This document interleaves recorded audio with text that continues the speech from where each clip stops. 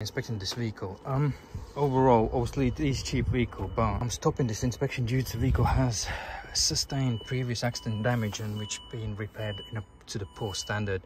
There's damages on a b pillar to the c pillar. The roof line around here um filler box a lot of filler damages here. To the roof sections damages here filled up with filler. All the all the clear coats same here excessive fillers um previous repairs b pillar damage you can see even then here. There's a, a lot of paint runs everywhere. Paint peeling off all vehicles being resprayed as you can see. So as the corrosion developing on here there's a lot of corrosion developing um just on a roof so because of they use the filler so more likely the water is soaking. So there's the egr valve problem. Um there's a ride air suspension air suspension system issue which needs further investigation. It doesn't lift up this side properly um needs further investigation. Um so is the air compressor is noisy.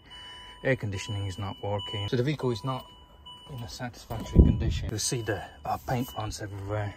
Um same as well corrosions there. Excessive wear on the seats but will be expected for for the old vehicle in here.